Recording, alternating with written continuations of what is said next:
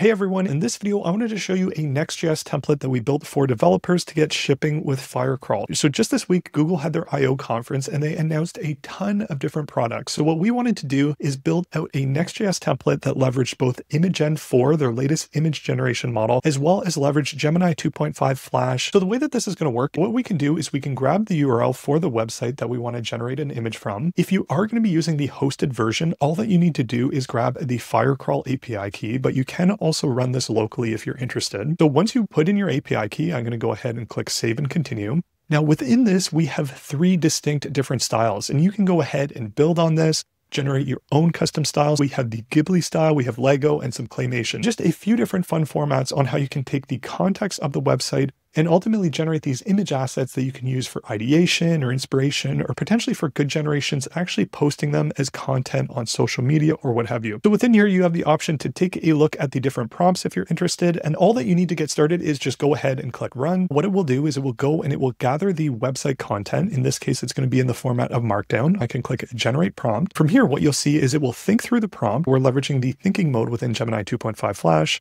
We also have the prompt that it generated. We have the style prompt from the previous step. And ultimately what we have here is the final prompt that we're going to be sending to Imagen 4. What you can also do within here is let's say you want to tweak the style or the content, you can go ahead and edit these text areas before ultimately sending in that prompt to generate the image. So it should only take a number of seconds to generate your image asset. From there, you can go ahead and download the image or click to regenerate an image if you'd like as well. Now, if you're interested in trying this out, you can just grab your Firecrawl API key. You can get a free API key from aistudio.google.com. You can head to fal.ai, get an API key from there.